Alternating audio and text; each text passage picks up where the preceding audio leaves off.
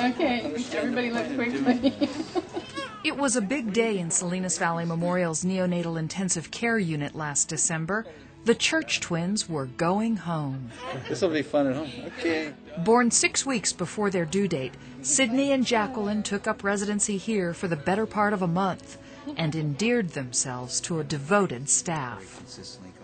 It's scary. It was, it was, uh, you know, we had to be very careful that we weren't uh, missing anything. They were just about six weeks early. They were very special babies in that they were the product of in vitro fertilization, so the parents have been working quite hard to have babies.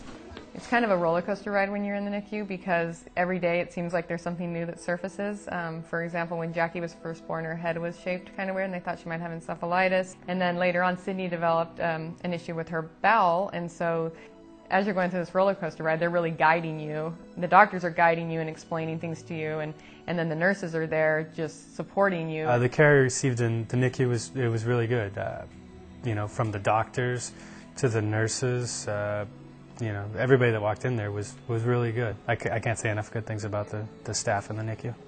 I think for the staff and the doctors, uh, we put a lot of time and energy, and we worry on our own, and we have concerns. And when you get a chance to see them through, through the whole process, like we did, um, it's just so rewarding. It's uh, it's one of the unique things we have here in neonatology. The staff in the NICU, to me, was um, excellent. They cared for um, our children in such a loving manner, um, as if they were their own. And I'd walk in half the time, and one of them would be rocking them and you know, holding them. They're feeding them.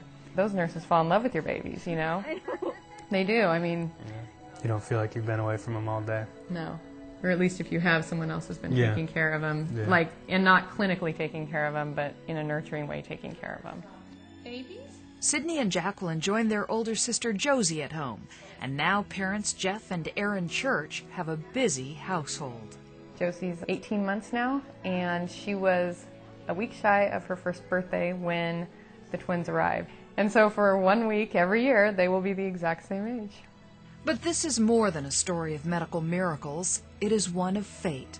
You see, it was one of Jeff's ancestors who donated the land on which Salinas Valley Memorial stands, and he spearheaded the effort to build this hospital. It makes you wonder if, in some way, Bruce Church, on the day of this groundbreaking more than 50 years ago, could have had these two in mind when he worked so tirelessly to bring this hospital to the Central Coast. Having a, a NICU in Salinas Valley Memorial Hospital um, was a blessing for us.